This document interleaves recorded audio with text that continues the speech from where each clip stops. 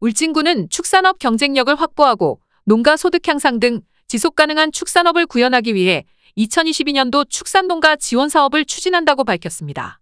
지원 대상은 울진군 축산농가와 생산자 단체, 법인 등으로 23개 사업에 사업비 5억 2,200만 원을 투입하며 구체적인 사업 내용으로는 한우와 양돈, 양봉, 사슴 등 각 축종별 사육농가 지원 사업과 식육 판매업소 지원 사업으로 구분하여 가축 방역을 위한 소독시설 지원 사업과 구제역 백신 접종을 위한 자동주사기 지원 사업, 깨끗한 축산농장 구현을 위한 악취 저감제 지원과 환경 개선 장비 지원 등의 사업을 추진할 계획입니다.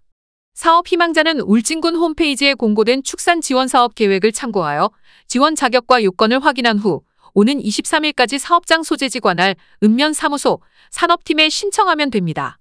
울진군은 신청자를 대상으로 축산 및 방역 지원 사업 지침에 따라 타당성 등을 검토해 우선순위를 선정하고 울진군 보조금 심의위원회에서 심의 확정 후 지원할 계획이며 기타 자세한 사항은 울진군 미래농정과 축산관리팀 054-789-6791번에서 3번 또는 읍면 사무소 산업팀으로 문의하면 됩니다.